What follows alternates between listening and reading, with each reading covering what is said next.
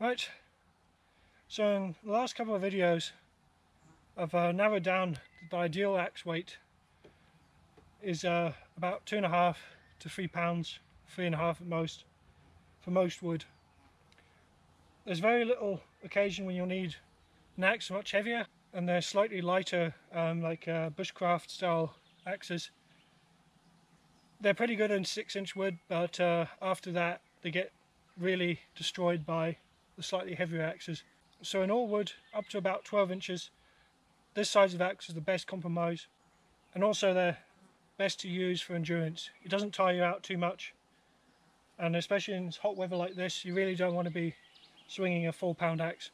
So these two axes are probably the best options on the market. The red one is a council tool boys axe and this one is a Ochsenkopf Iltis.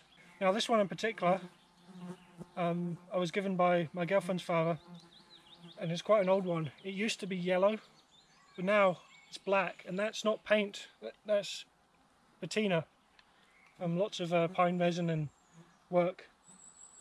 So this axe has stood the test of time. It's uh, probably at least 10, 15, maybe even 20 years old. I need to ask him, but uh, this axe has held up brilliantly. The handle is new. I replaced it uh, just because the old one had uh, become loose and was slightly too short. It was about 60 centimeters. I think it was an older model they used to make. I think it's much better on a 70. And the ones available today are on a 70 as well. Really these axes are very similar in many ways, although the Ochsenkopfs are uh, a little bit wider.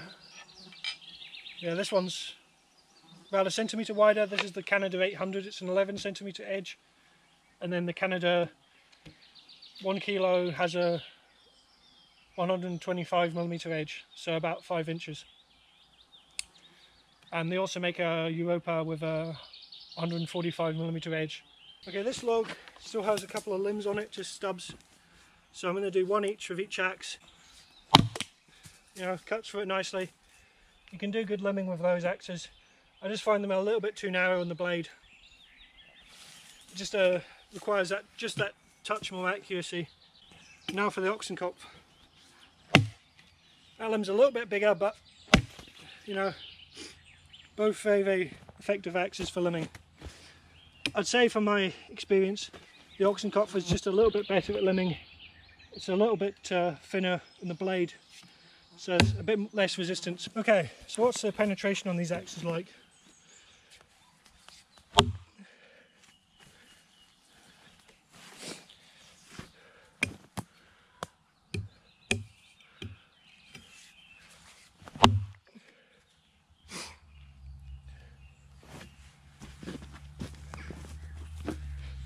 So the Ochsenkopf can see some chip baking up there, it's doing its job. Okay, that is four fingers, three and a half, but very, I'd say four. It's, it's well over three and a half.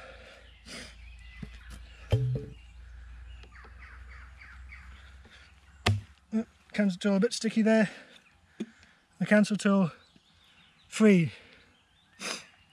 So I think that hollow behind the edge certainly makes this bite more than the council tool. The council tool's got a flat wedge shape basically and uh, a bit more resistance. Might chip better in some woods but uh, generally I found this oxen Ochsenkopf to be a bit more free. So that's an interesting result. That's the first axe I've had that's uh, been able to cut in four.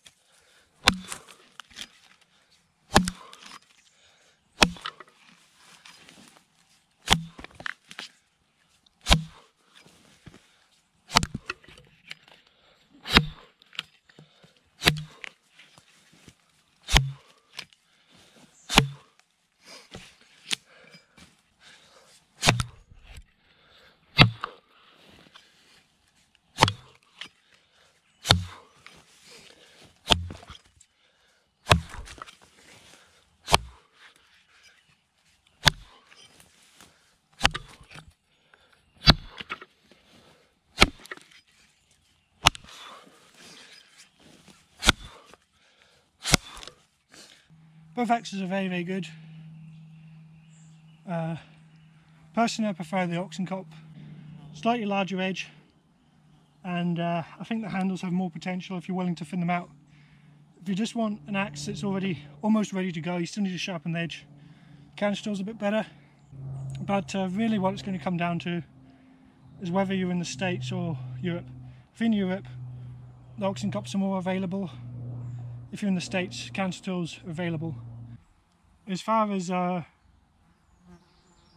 other experience with them, I find in green woods the Ochsenkopf is a bit better. When woods are dead and dry, so you're cutting firewood that for like camping that you want to burn immediately, I think the Council does a little bit better. In deadwood, the stickiness issue is not such a big deal, and I found it does penetrate a bit more. But when you put that's only when you put a very very thin grind on it, and I'm not sure about the consistency of quality in their tempering process. I have seen these edges have a lot of problems, but maybe I've just got a, a bit of a fluke one that's perfect because I've managed to get that down to 16 degrees with a tiny micro bevel Really, these uh, Ochsenkopfs have quite a pedigree um, for use in Canada by loggers, and uh, they're well liked. So I'm pretty trustworthy of the steel on these. I mean, some people complain they're too soft and roll a lot. Um, I've only had issues with rolling when I have a very, very tiny secondary or micro bevel on mine, but uh, a millimeter micro bevel for me seems to be enough on them. Overall, both are very good axes, great to learn on, and uh, very useful sizes for all kinds of work.